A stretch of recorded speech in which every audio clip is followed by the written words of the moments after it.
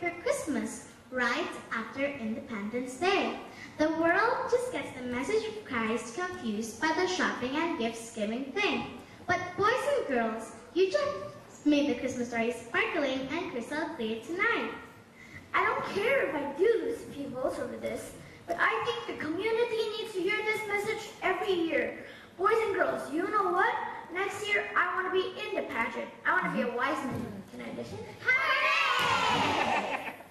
Well, it is Christmas Eve, and I bet your families are waiting for you. And you know what? No gifts could be nearly as precious as what you boys and girls showed us tonight. You stood up for what you believed in, and you told us what we needed to hear. Good job. I think we just witnessed a real miracle on Main Street. Another incredible, wonderful, beautiful Christmas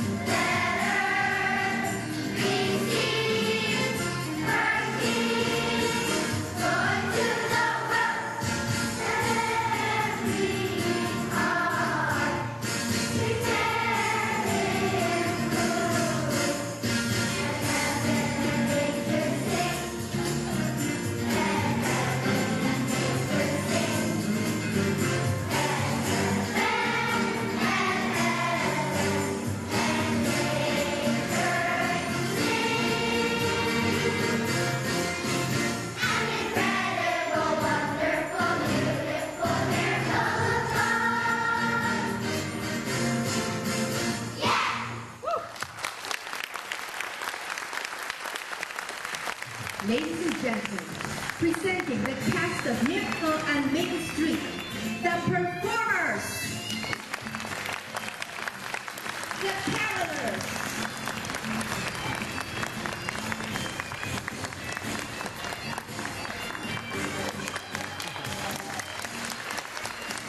the opening song dancers, the Main Street dancers, the angel dancers, the Christmas story characters, the Christmas story narrators,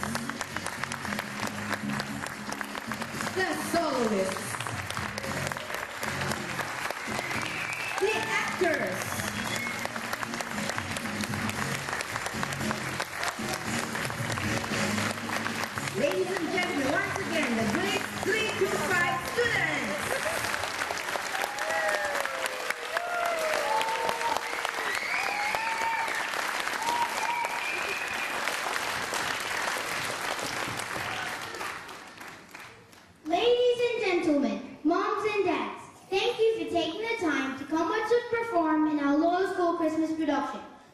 enjoyed our show. Most of all, we hope that you've been reminded that we can never take Jesus Christ, our Savior, out of the celebration of Christmas. Christmas is all about the birth of Jesus, our Messiah. He loved us so much that he willingly came down to earth to become human to show us what real love is. He loved us so much that he willingly died for our sins, so that we who believe in him can one day live with him forever. So let's share the joy of Christmas together.